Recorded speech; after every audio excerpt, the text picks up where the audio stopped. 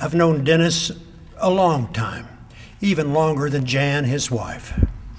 He was in my band at Hays High School when I was teaching there, and I came here and uh, as the band director and vocal instructor, and I was out playing with Dr. Robinson, the golf with Dr. Robinson and the president, and Jimmy Downing, the athletic director, and finished a round of golf, and I shot one over par or something like that. And they said, "Congratulations!" And I said, "No, this is a pretty easy course." And he says, "No, you're the new golf coach. Now go out and recruit." recruit. So we were recruiting, and in the second year, uh, Dennis is graduating from Hays High School. And being the band director, I thought, man, there's a trumpet player. And so got on Dennis, and then I said, well, you can play golf too. Now, there wasn't uh, performance awards or anything like that, but he came to uh, Barton County and was in the band and the jazz band and the pep band for two years, and he was on the golf team. And uh, uh, a couple of stories about Dennis. Uh, he had long hair at that time. And he had long hair when he first came to Great Bend. But I used to tell him, if the hair gets in the way when you putt, it's going to come off.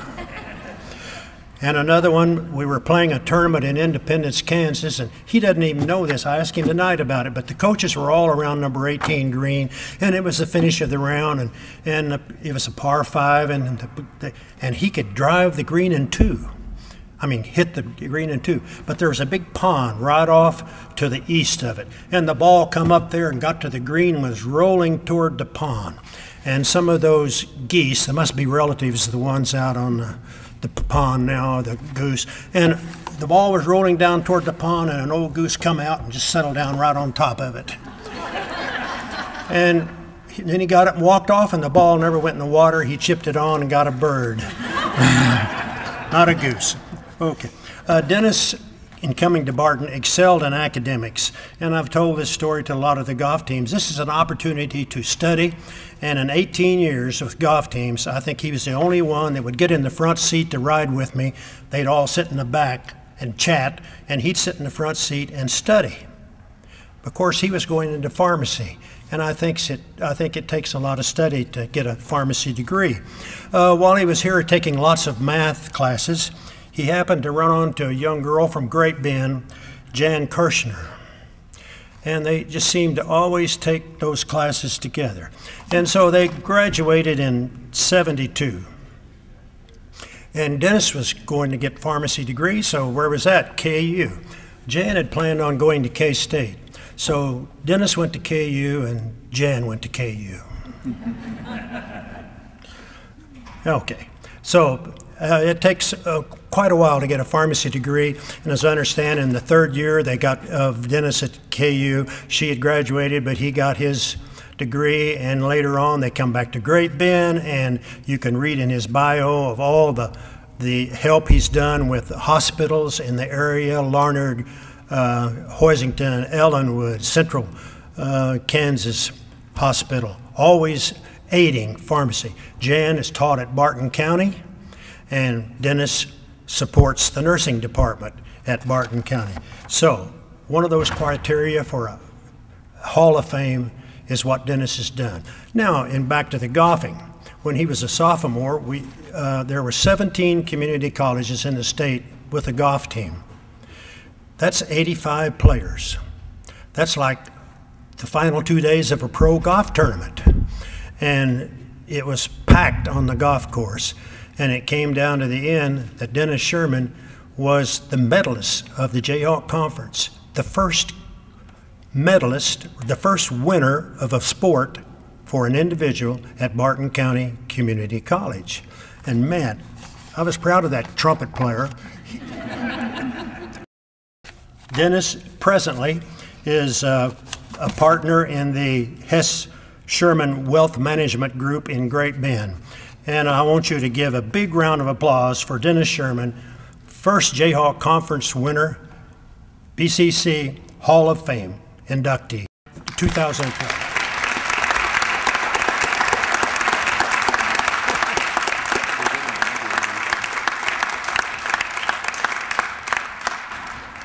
Well, I'm really not much of a speech maker. I'll tell you that right off the bat. So getting in front of people and speak, it is not my forte so I always have notes.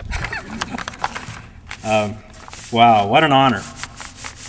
What an honor to be chosen uh, to receive this award. I am truly humbled uh, to become a part of this uh, celebrated group. Um, I have some friends that are members of this, and I never dreamed that I would be standing up here in front of you today. Uh, Barton is a great school. It's a great school to start your education. Uh, the class size is small. Uh, the instructors are always available if you need extra help. Uh, and my time here was very well spent. Uh, the instructors and the classes that I took prepared me very well for the entrance into pharmacy school at University of Kansas. Um, science and math courses uh, began a career path to becoming a pharmacist. And I still enjoy being a pharmacist today. It's unusual to find something that you really enjoy for a lifetime. Uh, and I still, I still do relief work. Uh, so when a pharmacist calls and is going to be sick or something like that, then I do fill in every once in a while when they need me. And uh, it is kind of tough keeping up your clinical skills, but uh, I make a good try. Um, you know, it's, it's interesting because I have not stopped learning. Um, I learn something new every day, and I make it a point to do that. I try to pick up something that I did not know before.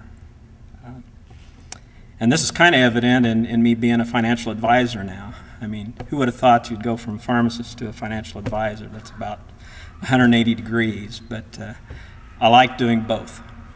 Uh, I enjoy both of those things, and uh, I hope to do those for the rest of my life. Now, when JB came to Hays to recruit me, uh, I had already visited with uh, a coach from Emporia about playing football. Now figure that out.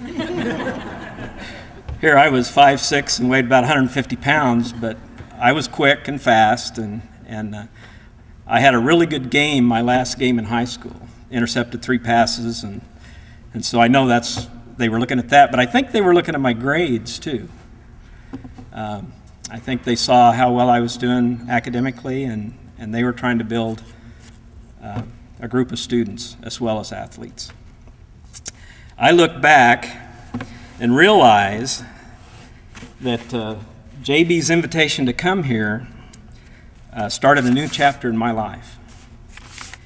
And uh, the decision to choose Barton was one of the best decisions that I've ever made. Um, and I thank JB for giving me that opportunity. Um, I'm also thankful that my parents uh, supported me and encouraged me to come to school here. Um, I'm glad that they were looking for me to get an education, and uh, I know they were both college graduates, so I think that kind of goes to say that they wanted their kids to be that way too. Uh, and this is where I met Jan. Uh, very special lady. And uh, she has been a great influence on me. Uh, and I would not be where I am today if I didn't have her love and support. And, uh, Great Bend is also a great place to raise kids.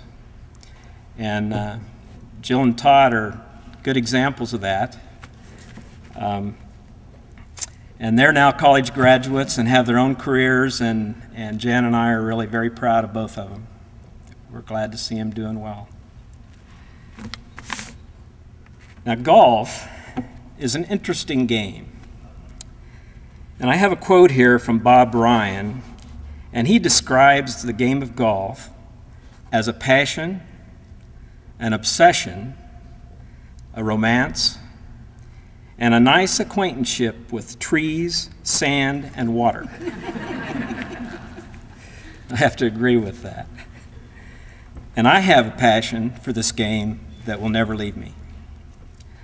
Um, if you visit my office, you'll see it decorated in uh, golf calendars and paintings of Augusta and Pebble Beach.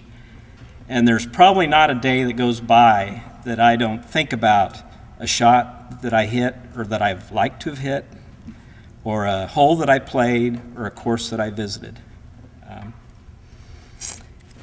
I haven't brought my putter to the office yet, but I'm sure that's coming.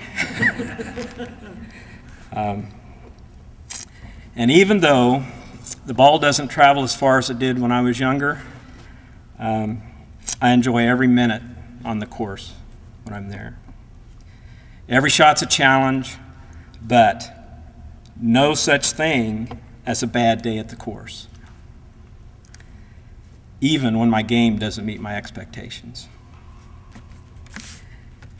Now, last thing I want to close with is uh, I believe God has a hand in everything we do. I believe He brought me to Barton.